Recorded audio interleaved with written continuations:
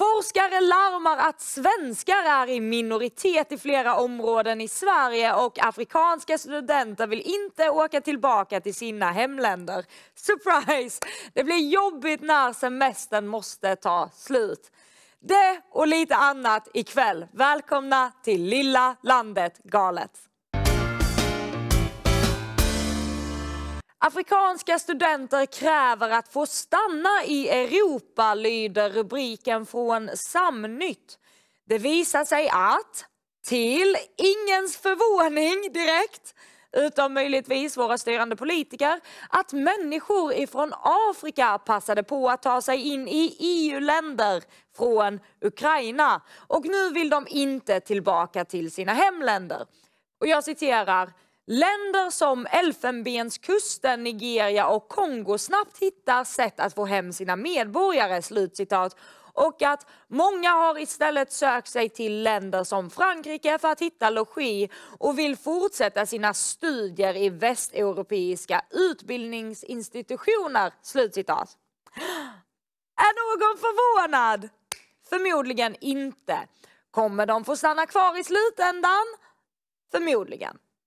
Det tycks vara en grundinställning hos styrande politiker att tvinga på sitt folk, exempelvis det svenska folket i många fall, att ta ansvar för hela världens befolkning. För hur är det vårt ansvar att afrikanska studenter inte vill åka hem till sina hemländer? Ibland tar semestern slut. Rätt ofta faktiskt, för att vara kast.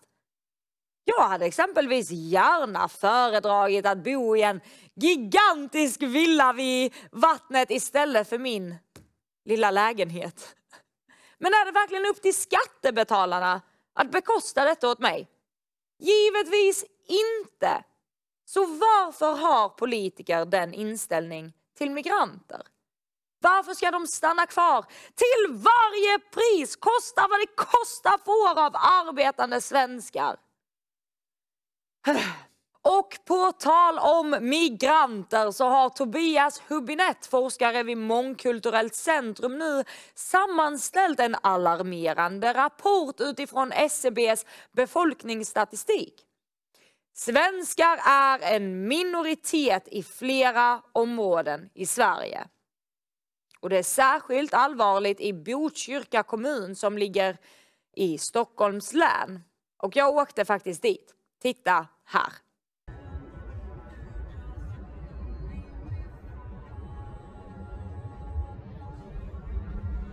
Jag befinner mig just nu i Botkyrka, bara ett stenkast ifrån Fittja moské.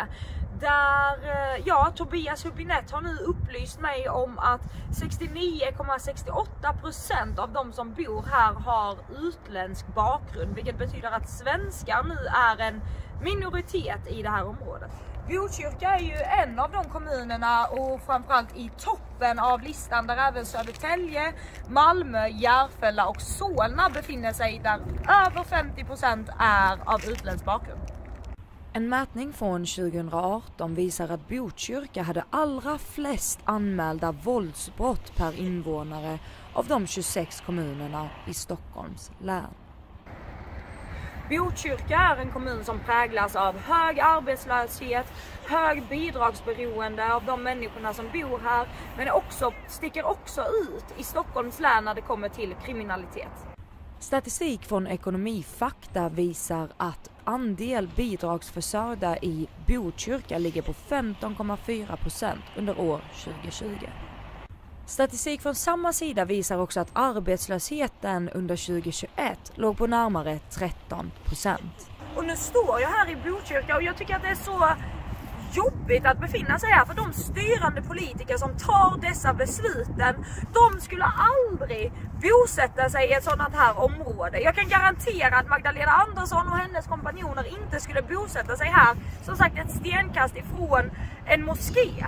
De gör inte det, men samtidigt så sitter de i riksdagen och tar de besluten som ger direkt konsekvenser för människorna och svenskarna ute i vårt land. Det är något grundläggande fel när styrande politiker som är menade att representera oss människor är så långt borta från den verklighet som de flesta lever i. Det gäller förvisso inte bara politiker utan samhällseliten i stort fungerar ju så. Jag minns till exempel artikeln från Jan Guillou och Alex Schulman rubricerad Guillou och Schulman, småstadskänslan är borta på Östermalm. Stackarna! Utsatta områden, gängskjutningar och allmän otrygghet har florerat i flera år nu. Men när småstadskänslan minskat på Östermalm, då är det kris bland samhällseliten. Och det ska skrivas om i Aftonbladet. Och någonstans här landar vi i något, tror jag, när Jan Guillou uttrycker följande.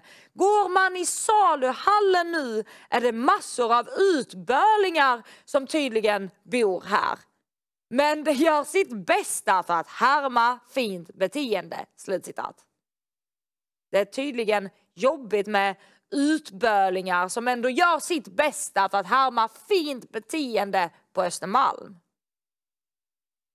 Är det någon mer än jag som blir direkt spyfärdig? Någon? Vi är nog ganska många. Sätt detta i relation till att vissa områden i Sverige nu har böneutrop och kriminella gäng som styr gatorna, bokstavligt. Jan Guillou är alltså upprörd över nyrika människor som intar saluhallen och stadsdelen. Samtidigt har våra styrande politiker låtit bygga betonggetton runt om vårt land på flera ställen, fyllt dem med migranter och kastat pengar över situationen för att sedan gå vidare till nästa självskapat problem. För politiker har ju aldrig själva behövt uppleva de fantastiska eller faktiska negativa konsekvenserna av de politiska beslut som de har tagit.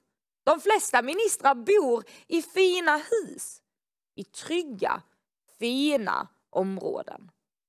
Och skulle det uppstå något som helst obehag, ja då lyfter man luren och ringer på sina Säpovakter, snabbt som fan. Men när småbarnsmamman tvingas kolla sig över axeln på väg hem från jobbet sitter våra ministrar i en skottsäker bil och twittrar någonting om hot mot demokratin om de förlorar sina jobb. Och någonstans här får man väl ställa sig frågan hur det är tänkt att samma människor som har skapat alla dessa problem är de som ska ha förtroendet att också lösa problemen. När vår Förre statsminister Stefan Löfven stolt uttryckte att han skulle kunna tänka sig att bo i Rinkeby. Att många faktiskt vill bo där. Uh, Stefan Löfven, nu är vi i Rinkeby, nya polishuset har du besökt. Är det här ett område som du skulle kunna tänka dig att bo i? Ja, det är det och det är många som vill bo här. Och det... Men så är det ju såklart inte. Jag tror inte att det är många alls som vill bo i Rinkeby eller i Botkyrka. Speciellt bland högavlönade styrande politiker. För annars skulle de väl faktiskt bo i dessa områden? Eller hur? Men få människor, eller jag tror i alla fall, att få människor faktiskt vill leva i otrygghet. Än färre i områden där det sker skjutningar på öppen gata men ni politiker, ni kan väl åtminstone vara ärliga med detta. Säg som det är! Att människor flyr dessa områden så fort det bara går. Att det är därför Sverige etablerat, eller det, världen etablerat ett begrepp som kallas white flight. Där människor bokstavligen flyr från områden som ni skapat. Men nej, ärlighet är ju inte riktigt styrande politikers grej. Framförallt inte Socialdemokraternas grej, det har vi lärt oss. Men ni, alla ni som valt att titta, tack så mycket för att ni tittat på kvällens avsnitt. Glöm inte att gilla, prenumerera och kommentera om ni uppskattar vår kanal. Ha en jättetrevlig kväll så länge. Tack!